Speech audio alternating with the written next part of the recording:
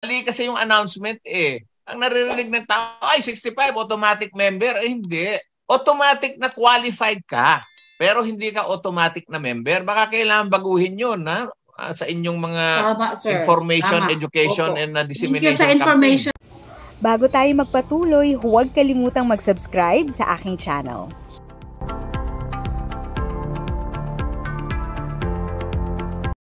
Thank you sa pag-click ng aking video. Good day po sa lahat ng mga nanonood. Sa mga bagong viewers at napadaan lang, by the way, I'm Tita Eda. Welcome to my channel.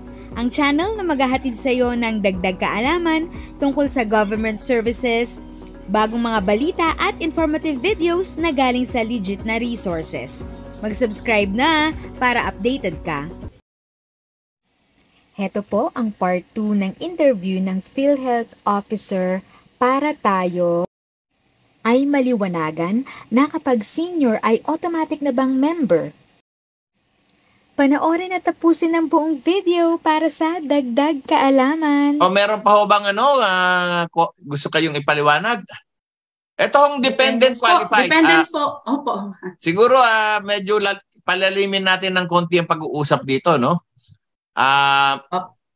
yung yung ano, basahin natin mabuti nga, pwedeng ipakita mo kasi na, parang nakita ko diyan, legitimate at saka legitimated children. Eh, Okay po. So ibig sabihin niyan ay ah, maski ah, hindi kasal yung magulang mo, pag ni-recognize ka ng tatay mo o ng nanay mo, eh magkwa-qualify ka as dependent. Opo.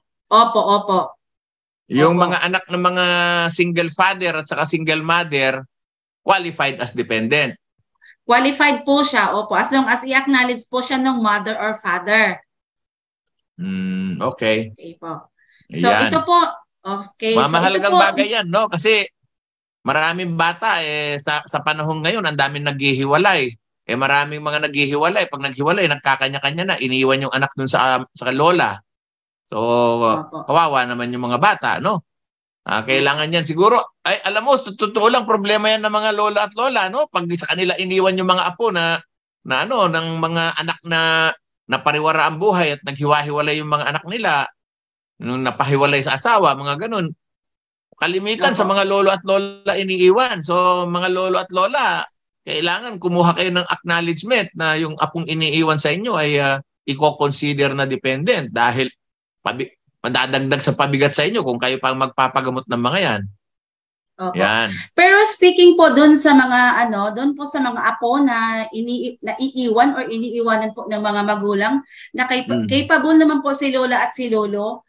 Pero po dahil nga po apo, hindi po sila pwede maging dependent. So ang gagawin po Mm. ni lola or ni lolo, pwede po sila dito sa yung ito po oh, sa yung, yung poster child as defined in the Republic Act uh, 10165 or other no otherwise known as the Foster Care Act of 2012. Mm-mm. Ito po, if ever po lolas or lolo na merong apo na iniwan or naiwan po sa inyo, tapos Mhm. pwede, ah, gusto niyo pong maging dependent po sa inyo, pwede niyo pong i ano yon ilapit po sa DSWD tapos hihingi po kayo ng pagbibigay po si DSWD ng certification na as ano po Mhm. as po as foster parents po. So pag Mhm. na-present niyo po 'yon sa PhilHealth, makaka-avail Mhm. din po yung si apo na pwede po Ayun. sila po na maging dependent po. Ni lolo at Through lola. this act po, through this Republic Act po. Ayan, okay. No? So mga mga kasinyors, no? Yung mga kasinyors diyan na ginagawang apostolic ang trabaho nyo na iniiwan sa inyo yung mga apo nyo, lalo na pag nakikipaghiwalay ang mga anak nyo, ha? Ayan, Foster Care Act of 2012.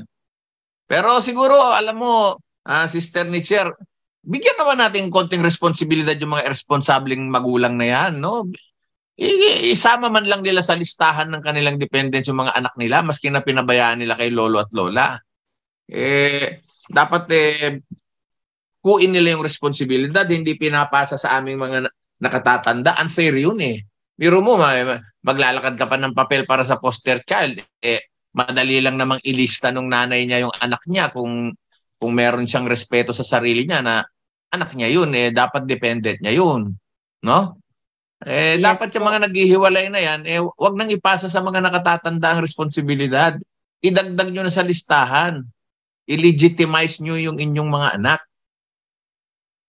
Yes Yan. po. Pagkakaalam ko rin po sa DSWD, parang hindi rin naman po ganun kadali ibigay nila yung certification po as Oo. as foster parents po. Eh, Ay, Eh, madami na- pa din po ko dati, proseso. eh, yung ah, yung ah, mga nakas- nakakasabay ko sa sa pagbiyahe sa eroplano, kaila maski nga tunay mong anak, kailangan mo ng papeles na patunay na anak mo yun eh. Eh di lalo na pag foster care.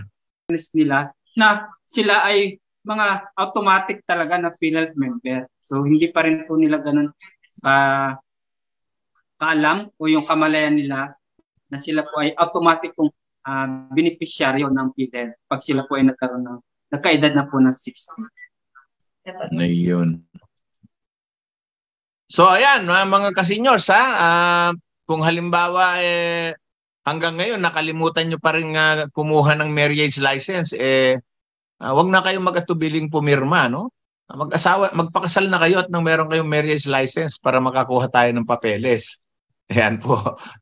Joke lang yan, pero sa totoo lang, marami pang mga seniors ang hindi kinaharap yan at ah, pagka nagkakaproblema, saka lang nila iniisip problema ko nung araw eh, nung, nung ah, hindi pa ako senior. Yung lagi kong nakakalimutan kumuha nung ano ba yung tinatawag nila yung MDR. MDR. MDR, Oo, MDR. pagka minsan eh, pagka minsan eh, hahanapan ka ng ganun, o, nandun ka na sa ospital, uuwi ka ulit, hahanapin mo pa yung MDR o pipila ka pa ulit dun sa, sa ano, sa mga opisina ng ah, PhilHealth. Pa, ano ba ang mga diskarte dyan? Mga, kwentuhan nyo nga kami. Okay, sige po. So, tungkol po dun sa MDR, lahat po nung ano po, lahat po nung healthcare institution po na PhilHealth accredited po is meron po silang tinatawag na portal. Doon sa portal po, yun po yung system na may hawak po ng mga listahan po ng mga PhilHealth member, lalo na po pagdating dun sa sa sa senior citizen nga po. So ang gagawin po, halimbawa pupunta na si senior si senior sa hospital tapos magtatanong po, itatanong po doon kung PhilHealth member na ba siya o hindi. Ga- dahil nga po doon ako conscious po.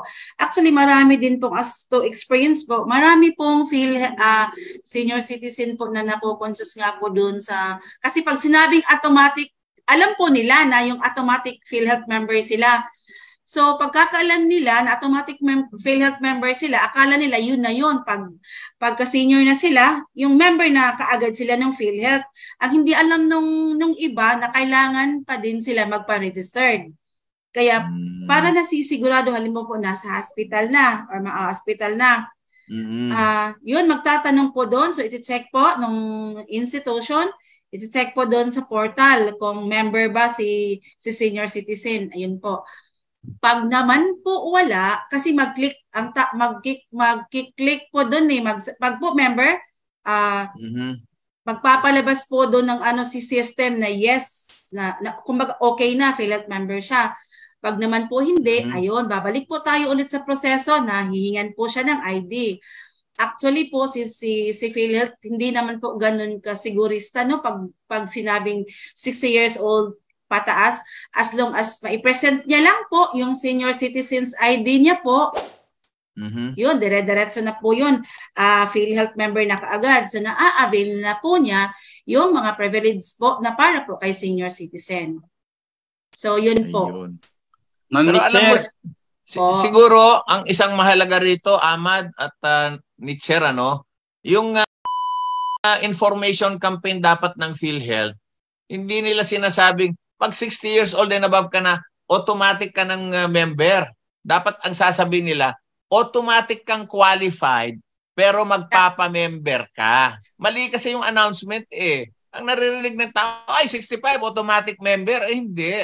Automatic na qualified ka, pero hindi ka automatic na member. Baka kailangan baguhin yun na sa inyong mga Tama, sir. information, Tama. education, Opo. and uh, Thank dissemination you sa campaign. information, sir. Totoo po. Talaga kasi Mm. na-misinterpret po yung automatic member kaysa po automatic qualified.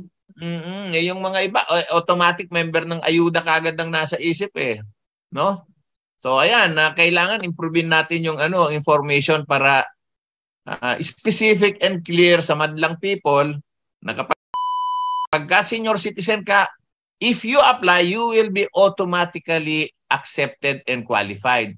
But if you don't apply, you are not an automatic member. Yan. Tama po, sir. Thank you po. Bagong ano po yun, kaalaman. Mm. Kasi, Mm. ewan ko lang po sa iba. Basta ako rin po personally, yung term ko po is automatic member. Pero, may ano naman po yun. Hindi pa yun doon. Quali, ah, automatic member, pero provided na kailangan mo ring magpa-registered. Kaya pero nga ano, yung, kaya nga yung ang term po na automatic keyword qualified, doon ay- po. automatically qualified. Opo, sir. Mm. Automatically in but not yet a member unless meron kang ID. Registration po. Opo. Yun. Pero ma'am, ah narinig ko sa kwento-kwento sa mga public hospitals, eh, maski wala kang ID, maski wala kang ano, basta pagka bigla kang na hospital, eh, pwede ka na magpa-process dun sa, munisi- sa mga public hospital o provincial o municipal hospital. Totoo ba yun? Walang ID na maipresent po?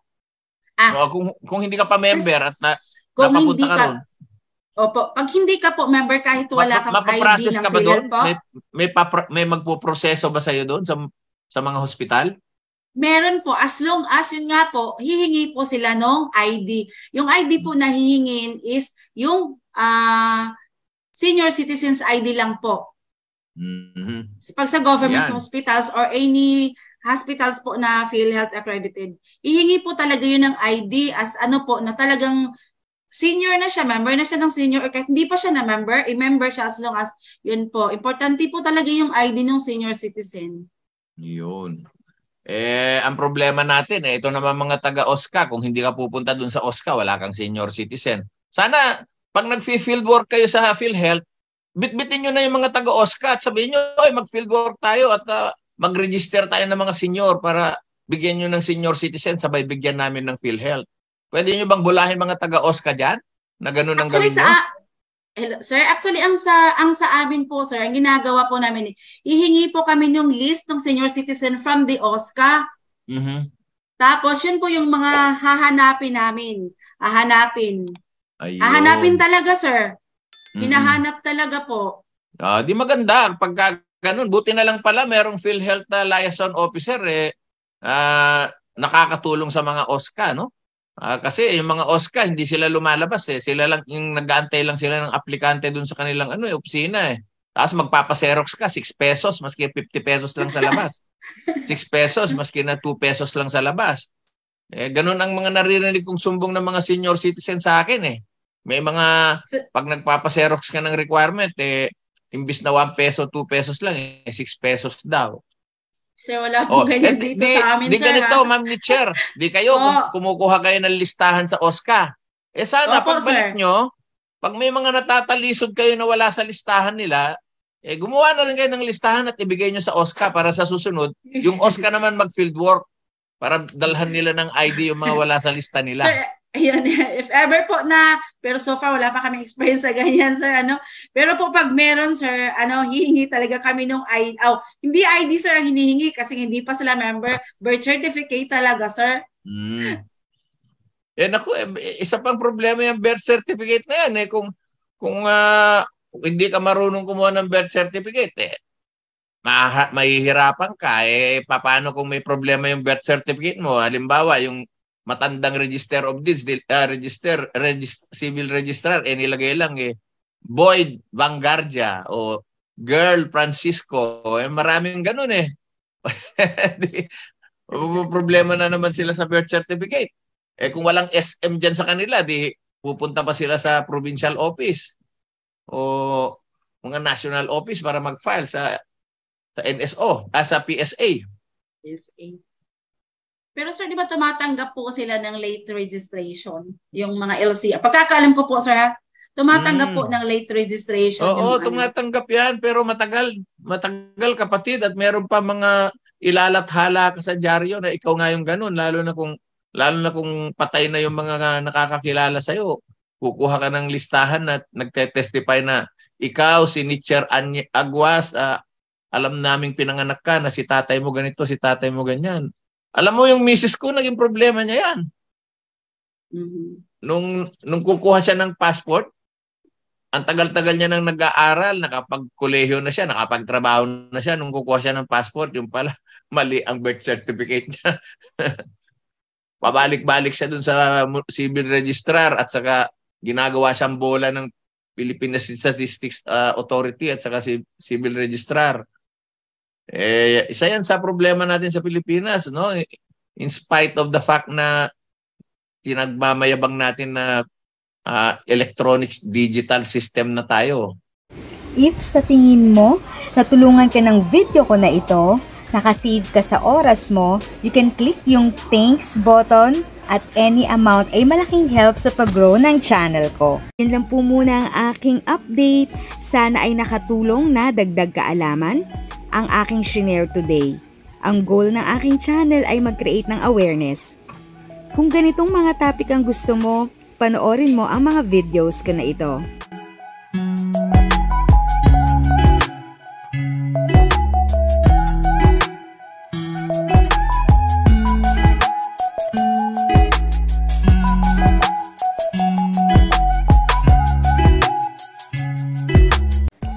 Thanks for watching! Kung may kapamilya, kaibigan o kakilala sa tingin mo ay magiging interesado sa video, please share or tag sila sa comment section. At syempre, if nagustuhan mo ang video, ilike mo na ito at subscribe ka na din. As always, feel free to write your questions, comments, and opinions respectfully. And continue to be a blessing and stay safe.